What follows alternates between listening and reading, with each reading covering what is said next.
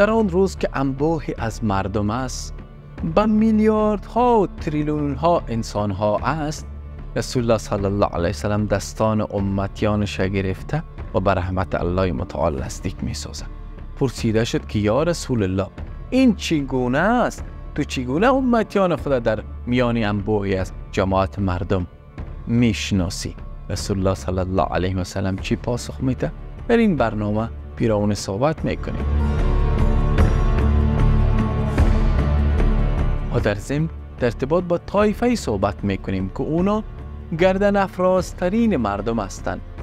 یعنی به رحمت الله متعال خیلی نزدیک هستند نسبت به همه مردم. اینا چی کسایی هستند؟ در این برنامه پیرامون صحبت می‌کنیم و الله در ارتباط به صفات حوض کوسر پس این برنامه را بیننده باشید.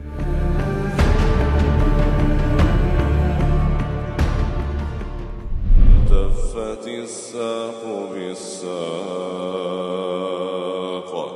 إلى ربك يومئذ المساق. بسم الله الرحمن الرحیم و صلی الله تعالی علی خیر خلقه محمد و آله و صحبه اجمعین دوستان عزیز در برنامه گذشته در ارتباط به حالت اون فردی که متکبر بود افراد اشخاصی که زکات اموال خود نمی پرداخت افراد اشخاصی که گدایی می کردن افراد اشخاصی که در واقع غصب کرده بودن اموال مردم. افراد اشخاصی که میان همسران خود عدالت اجرا نمی کردن پیرامونش مفصل اون حالات صحبت کردیم.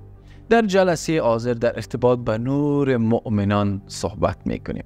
و همچنین کسانی که در دنیا آزان گفتند و آلت های دیگه که در واقع انسان ها چی فرد مؤمن چی فرد غیر مؤمن یا منافق یا مشک با دست پنجه نرم می‌کنه پیرامون صحبت می‌کنیم پس بین ابتدا در ارتباط به حالت دوازدهم صحبت کنیم. چون یازده حالت قبلا خواندیم. از که ندیدن حتما به چاینل سر بزنن. البته در خود چاینل که رفتن در بخش پلیلستش.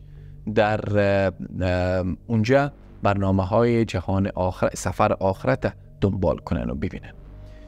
ما یازده حالت قبلا پیرامون صحبت کردیم. امروز در ارتباط به حالت دوازدهم. حالتی است که مؤمنان به او رو میشن. نور مؤمنان است. پیامبر اکرم صلی الله علیه و سلم روایتی است منقول از ابی قتاده که تفسیر ابن کثیر در شرح و توضیح آیه دوازده سوره مبارکه دوازده سوره مبارکه حدید میاره این روایت. از پیامبر اکرم صلی الله علیه وسلم که ایشان مهربانی می‌کنن که نور مؤمنان در آن روز از بعض مؤمنان در آن روز از مدینه تا عدن است. از مدینه تا صنعا است. صنعا یمن. یعنی به می اندازه نورش درشندگی داره و بعدا کمتر از آن کمتر از آن هر کس نظر به اعمالش. و هست افراد و اشخاصی که مؤمنانه که نورشان فقط جلو پای خودشان روشن. و همچنین روایت دیگه که از ابو دردا روایت شده. پیامبر اکرم صلی الله علیه وسلم مهربانی می‌کنه که ما اولین کسی هستم در روز آخرت که به ما اجازه داده میشه که سجده می‌کنم.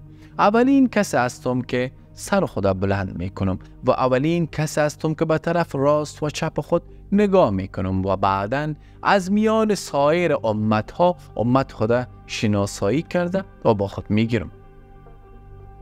کسی پرسان که یا رسول الله صلی الله علیه وسلم این چگونه است؟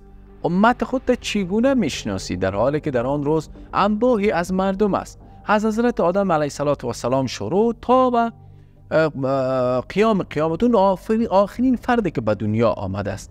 این همه انبوی از مردم این چگونه است یا رسول الله صلی الله علیه و چگونه امت تا می‌شناسی؟ پیامبر اکرم صلی الله علیه وسلم فرمودن ما امت خود از وضویشان می‌شناسم. از وضویشان دستانشان سفید است. پاهایشان سفید است. اثر وضو است. ما امت ما از نامی اعمالشان که به دست راستشان داده میشه می‌شناسم. ما امت خدا از چهره هایشان که اوضو کرده اند و در آن نور قرار گرفته است می‌شناسم. ما امت خدا از آن نور که در جلو پاهایشان است و روشن کرده شده با واسطه آن جلو پاهایشان.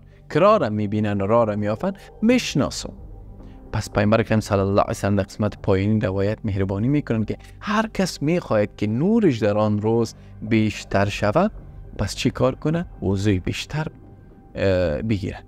و در دیگر روایت پیامبر اکرم صلی الله علیه و مهربانی می‌کنه که نماز نور مؤمن است. در این امت بلخص هر کس که بیشتر نماز می‌خونه در کنار نمازهای فرایض پیامبر اکرم صلی الله علیه و مهربانی می‌کنه نور از او بیشتر است حتی در روایت قبل که در شرح آیه دوازم سوره مبارکه الحدید آمد حتی نور بعضی از مؤمنان فاصله بین مدینه تا یمن است خود فکر کنید تا چی اندازه در عبادات و در وضو کردن و در نماز خواندن این فرد مشغول داشته نفس خود الله متعال به چنین یک مقام او را نائل داشته است. و همچنین مسلم در کتاب التحاره حدیث 246 روایت میاره.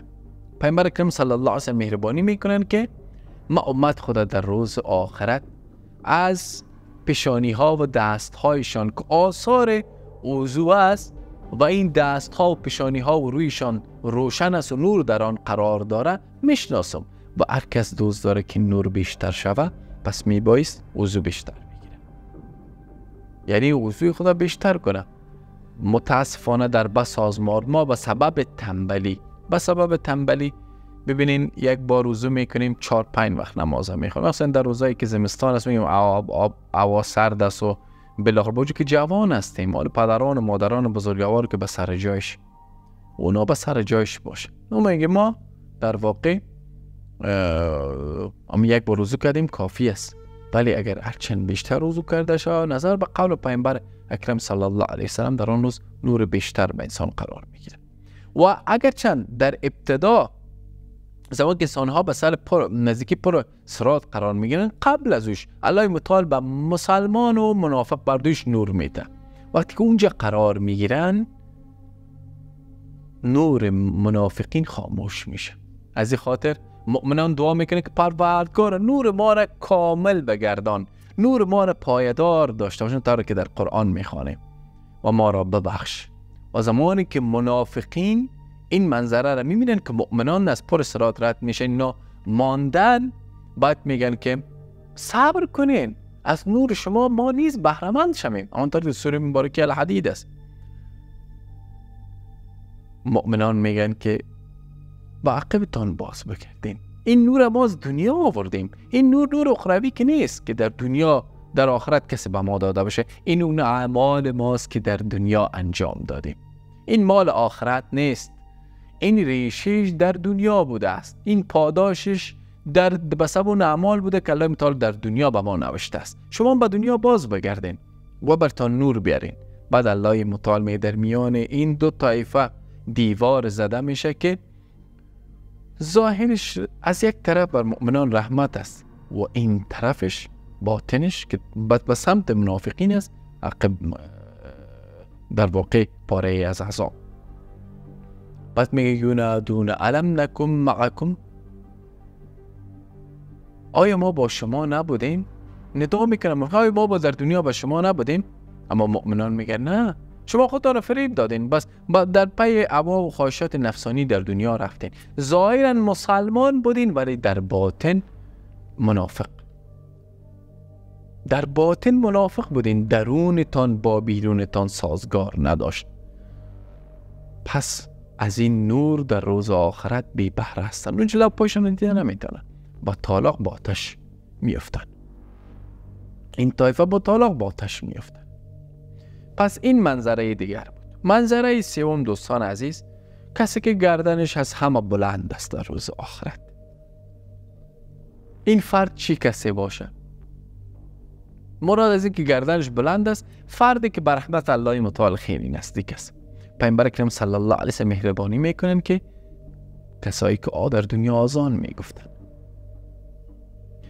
حدیث مسلم از کتاب الصلات باب فضل الاذان باب فضیلت آزان گفتن. حدیث 367 پیامبر اکرم صلی الله علیه و مهربانی می‌کنه که کسانی که در دنیا آزان می‌گفتن اونا گردن اف... گردن افرازترین افراد در آخرت هستند گردن های بلند بلند دارن. و مراد از این کلام پیامبر کریم صلی الله علیه و است که یعنی به رحمت الله متعالی افراد اشخاص نزدیک هستند دوستان عزیز جلسه بعدی ما در ارتباط با عوض کوسر رسول الله صلی الله علیه و سلم است. چی کسان از این آب بهره می‌برند؟ چی کسای از این آب می نوشند و چی کسای بی بهره میمانند؟ آیا امت رسول الله صلی الله علیه وسلم تنها از این آب می نوشه که تا وارد شدن به بهش دیگه تشنه نمیشه؟ یا سایر امت ها اگر سایر امت ها از این آب نمی نوشند پس تشنگی اونا چگونه است؟ آیا انبیای قبل از رسول الله صلی الله علیه وسلم از این آب می نوشند یا خیر؟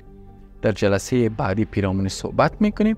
ولی به خاطر اینکه برنامه های سفر آخرت به طور منظم بیننده باشین و همچنان برنامه های احسن القصص به داستان انبیا است منظم ببینین. بنابراین channel subscribe کنین با دوستانتان شریک کنین.